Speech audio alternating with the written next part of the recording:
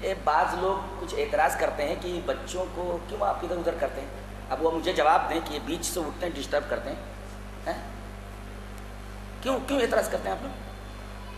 ये बीच से उठते हैं, बच्चों को कह दिया जाता है कि पीछे बैठो बीच से उठते हैं तो डिस्टर्ब होता है कि नहीं होता? तो मुझसे काबिलियत बताते हैं लोग। हैं? बच्चे अगर आराम से बैठे, बच्चों की तरह, कोई एतराज़ नहीं। वो मुझे मसले बताते हैं।